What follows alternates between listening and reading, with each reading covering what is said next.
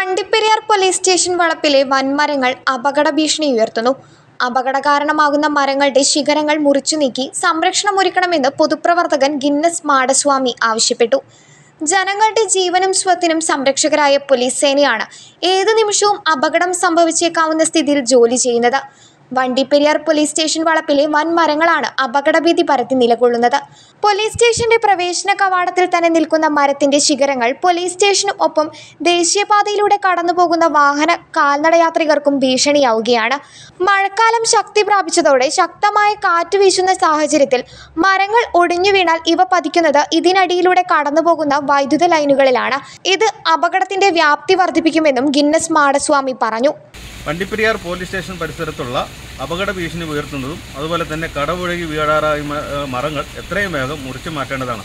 നമുക്കറിയാം മനുഷ്യന്റെ ജീവനും സ്വത്തിനും സംരക്ഷണം നൽകുന്ന ഉദ്യോഗസ്ഥരാണ് പോലീസ് ഉദ്യോഗസ്ഥർ. അപ്പോൾ അവരുടെ ജീവന് തന്നെ ഭീഷണി ഉയർത്തുന്ന ഈ മരങ്ങൾ എത്രയും വേഗം മുറിച്ചു മാറ്റേണ്ടതാണ്. അതുപോലെ തന്നെ അവിടെ കഴിഞ്ഞ ദിവസം ഒരു മരത്തിന്റെ ശിഖരം ഒടിഞ്ഞു വീണിരുന്നു. തലനാറ് ഇഴയ്ക്കാണ് അവിടുത്തെ ജീവനക്കാർ രക്ഷപ്പെട്ടത്. അതുപോലെ തന്നെ അവിടെ ഉണ്ടാകുന്ന അവിടെ ഉണ്ടായിട്ടുള്ള ഈ വൈദ്യുതി ലൈൻ ഉൾപ്പെടെ കോട്ടേഴ്സിന് ഇതെല്ലാം തന്നെ അപകടമായിട്ട് മാറിയിരിക്കുകയാണ് ഈ അപകട ഭീഷണി ഉയർത്തുന്ന മരങ്ങൾ നമുക്കറിയാം ദുരന്ത നിവാരണ സമിതിയുടെ ചെയർമാൻ എന്ന് പറയപ്പെടുന്ന ബഹുമാനപ്പെട്ട കലക്ടറാണ്. അപ്പോൾ കലക്ടർ വിചാരിച്ചാൽ ഈ മരങ്ങൾ മുറിച്ചു മാറ്റാൻ ഓർഡർ ഇടാൻ സാധിക്കും.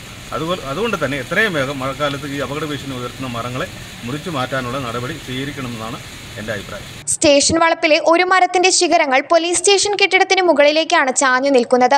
ഇത് കെട്ടിടത്തിന് തന്നെ ഭീഷണിയും ഒപ്പം പോലീസ് ക്വാർട്ടേഴ്സുകളുടെ ശോചനീയാവസ്ഥ മൂലം കെട്ടിടത്തിനുള്ളിൽ താമസിക്കുന്ന പോലീസുകാരുടെ ജീവനും ഭീഷണിയാണ്. കെ ട്രാൻസ്ഫോമർ സ്ഥിതി ചെയ്യുന്നതും പോലീസ് സ്റ്റേഷൻ വളപ്പിലാണ്. ഇവ അടിയന്തരമായി മുറിച്ചു മാറ്റണമെന്നാണ് നാട്ടുകാർ ആവശ്യപ്പെടുന്നത്. Enlight News Peermade.